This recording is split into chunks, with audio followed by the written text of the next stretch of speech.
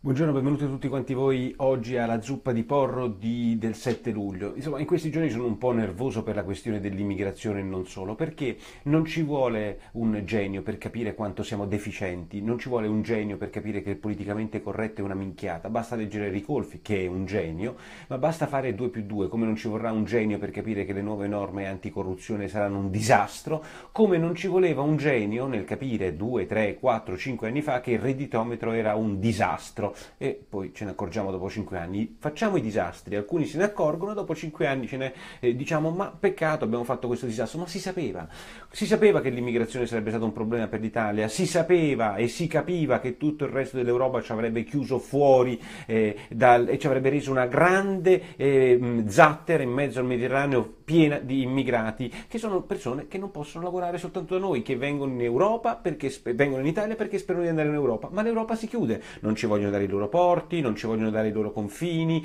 chiudono Schengen, insomma restano in Italia. Voi potete pensare cosa vuol dire 250.000 persone in Italia senza lavoro che stanno nelle cittadine italiane, dicono diffusi in 8.000 comuni. Uno di voi mi ha scritto su Facebook e mi ha detto scusami, 8.000 comuni diffusi, tu calcola che già 5.000 comuni hanno meno di 5.000 abitanti, quante persone possono prendere eh, comuni sotto i 5.000 abitanti? Il ministro degli interni queste cose lo sa, tant'è che Miniti ci prova, ma l'Europa se ne fotte. Oggi la teoria dei giornali di centrodestra, libero, eh, scusatemi, verità e, e, il giornale è che ci sia stato un patto scellerato tra Renzi, Merkel e all'epoca non c'era Macron e l'Europa per dire siate un po' flessibili sui conti economici dell'Italia e noi accoglieremo gli immigrati. Cioè ci siamo spartiti, abbiamo fatto questo patto scellerato. Non so se questo sia vero. Eh, ieri la Bonino che ne dice di tutti i colori, dice ah, bianco e nero, insomma cambia idee, come eh, ehm, diciamo, ha cambiato anche posizioni politiche, dice che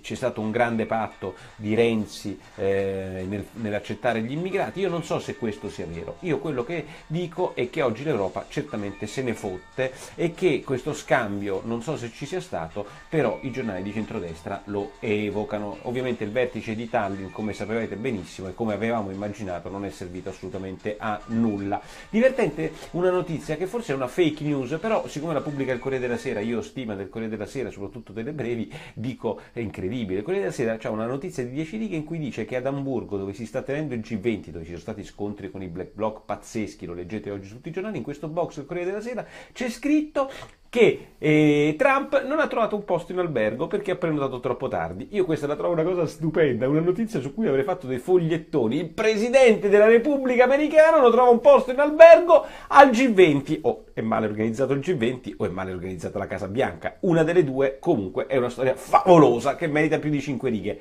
Trump non ha trovato posto in albergo ad Amburgo. Lo trovo io, faccio booking. Capisco che forse lui non può fare booking, ma cazzo è il presidente della Repubblica Americana che non trova un posto in albergo albergo d'Amburgo e deve andare a dormire, si dicono, al Senato. Andiamo sulle cose serie, si fa per dire, sono farse, la, il, Nulla di nuovo sul fronte del PD, ieri c'è una direzione, non è più mandata in streaming, non è più online, la direzione finisce con degli scontri incredibili che si leggono sui giornali, Franceschini, Orlando, Emiliano che non si presenta, eccetera. Come finisce la direzione? Con una mozione. Come è votata la mozione? All'unanimità. Chiusa la parentesi, fottiamocene di cose che interessano soltanto i dirigenti del PT e alla gente non interessa. Votata all'unanimità. Insomma, pagine e pagine sulle divisioni del PD. Pagine e pagine correttamente sul DDL corruzione, anticorruzione, che è una minchiata. Il titolo migliore oggi lo fa libero, ve lo leggo, e basta un sospetto e ti sequestrano i beni.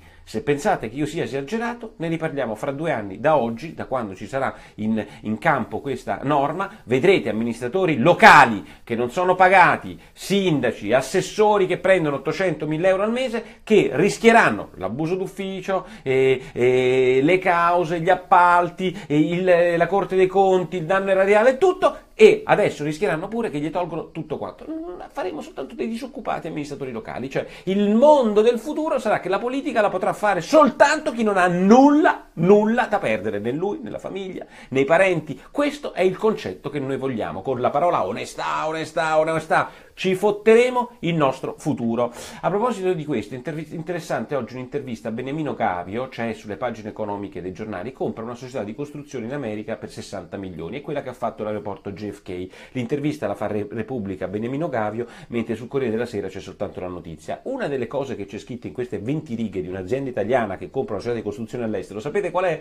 Che il codice degli appalti che è stato fatto, quell'altra minchiata, quando noi facciamo le leggi, le facciamo con i piedi, nel codice degli appalti chi ha una concessione autostradale non può farci i lavori sopra. Ovviamente questa sarà una cosa per la concorrenza, per la trasparenza, contro la corruzione. Sapete cosa succede? Che Gavio cosa deve fare, siccome ha le concessioni autostradali? Licenzierà e avrà 2044 esuberi, c'è scritto oggi sul giornale, per le sue società di costruzione in Italia che non potranno costruire dove? Sulle autostrade che c'ha lui eh, e quindi eh, non, eh, perché in, in, eh, dobbiamo mantenere la concorrenza e dovrà andare a comprare aziende e questo ben venga negli Stati Uniti in cui lavoreranno eh, i dipendenti degli Stati Uniti. Genialità. E in Italia ovviamente le società di costruzioni porteremo, non so, dei francesi di Vinci oppure di aziende francesi che verranno in Italia e che tra l'altro non fanno venire le nostre società di costruzioni in Francia perché sono loro che costruiscono in Francia. Questa è la genialata di questi cazzo di parlamentari che fanno le leggi soltanto perché devono rispondere ai titoli di due o tre giorni che gli faranno il Fatto Quotidiano e Repubblica che diranno grande norma contro gli appalti, contro la corruzione. Basta con questi titoli, con questi slogan, facciamo lavorare le aziende invece di metterle nelle condizioni di dover scappare da questo paese. Difficile da pensare? No, facilissimo, ma noi continueremo a far così. Ehm, e, eh, un'altra norma assurda era il redditometro, non ci voleva Pico della Mirandola per ricordarsi quanto eh, il, il, il, il, redditometro fosse stato osteggiato da, dal sottoscritto, si parva licet, ma da tutti quanti gli osservatori, diciamo un po' sani, liberali di questo paese, perché va a vedere nel dettaglio la vostra vita e poi serve a poco. È stato un flop il redditometro, l'ultimo anche perché sono stati fatti pochi accertamenti, l'invasività era incredibile, vogliono anche sapere, non so, il diamante che io regalo a, a alla mia amante. Questo è il tema della privacy, no? Non, come Facebook vogliono fare, come voi, come noi, tutti quanti controllati da questa specie di grande fratello che però a differenza di Facebook lo usa per capire se il tuo tenore di vita è un po' superiore a, a quello che guadagni, che eh, può succedere per mille motivi, non c'è un dato statistico che lo indica. Ma comunque lasciamo perdere. La cosa fondamentale è che il redditometro ha fatto eh, recuperare il gettito per 2 milioni, cioè abbiamo messo un bazooka di queste dimensioni in mano all'Agenzia delle Entrate per recuperare 2 milioni. Il redditometro quindi oggi sulle 24 ore apertura va pensione. La cosa straordinaria è che oltre ai due pezzi in cui raccontano la pensione del redditometro, il fatto che comunque l'anno scorso c'è stato un grande recupero fiscale nonostante il redditometro non sia stato utilizzato, oggi sapete che cosa leggo? Leggo che sul Sole 24 ore un pezzo di Aiorio che sarà un grandissimo giornalista del Sole 24 Ore, dà il senso di come il giornale degli imprenditori della Confindustria ha questa cattiva coscienza di dover far dimenticare che è il giornale degli imprenditori, dei commercianti, dei professionisti, delle persone che producono reddito e che vengono considerate evasori dalla sinistra ben intellettuale di questo paese. Questa cattiva coscienza fa sì che i giornalisti del Sole 24 Ore, nella fattispecie sul redditometro, mi spieghino che è assurdo abbandonarlo perché è come avere mode- un modello nuovo di auto, il primo modello non ha funzionato, il secondo l'hai migliorato, il terzo è diventato perfetto e che fai il terzo lo eh, lasci nel garage e non lo fai funzionare perché non, non, sono andati bene i primi due modelli. E questo è il caso del redditometro. E ancora l'ultima riga di questo pezzo dice il redditometro viene abbandonato per un motivo di consenso politico. Al giornalista del Sole 24 ore non sfugge che forse in questo paese c'è anche una questione di libertà c'è una questione di privacy, c'è una questione di invasività dei controlli delle agenzie delle entrate. No, non c'è questo, questo lo pensano soltanto gli evasori o lo può pensare anche un liberale che pensa che in questo paese lo Stato è al nostro servizio e non non siamo noi al servizio dello Stato. Forse uno che ha beccato sempre il suo stipendiuccio in busta paga con la ritenuta dal suo eh, datore di lavoro, che peraltro è l'imprenditore industriale cattivo che fa quei soldi con le fabbriche, non si rende conto che cosa voglia dire in questo paese avere un, un fisco e una burocrazia fiscale eh, disastrosa come quella che abbiamo. Vabbè. Eh, di questo ne abbiamo parlato, codice dei appalti, corruzione, Trump che non c'è la cosa, Dio il redditometro, di che altro dobbiamo parlare? Mm.